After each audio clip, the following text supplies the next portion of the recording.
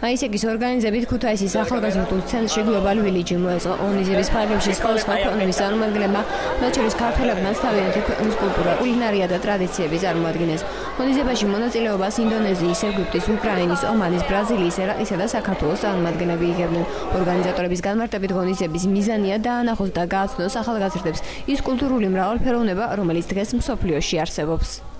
იმართება ახალგაზრდულ ცენტრში ივენტი საფუძველი გლობალური ლიგი რაც გულისხმობს სხვადასხვა ქვეყნის წარმომადგენლების კულტურის გაჩენას.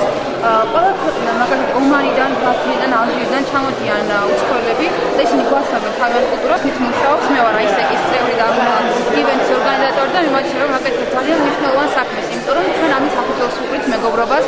სხვადასხვა ეროვნების ადამიანებს შორის. ამ ღონისძიებას გლობალ ვილიჯი ქვია. მის ვიზანია სხვადასხვა კულტურის მატარებელი ადამიანების შეკრება, რათა გაიცნონ ერთმანეთი, გაიგონ მეტი ერთმანეთსა და სხვადასხვა ქვეყნების ტრადიციების შესახებ. როგორც სახელი ამბობს გლობალ ვილიჯი, ეს არის მსოფლიოს მცირე ანალოგი მისი მრავალფეროვნებით სხვადასხვა კულტურითა და განსხვავებული ტრადიციებით. აქ წარმოდგენილი გვაქვს ომანის ტრადიციული სასუსნავი, ყვერი პურცე. ამას ომანში შობას მიერთვევთ.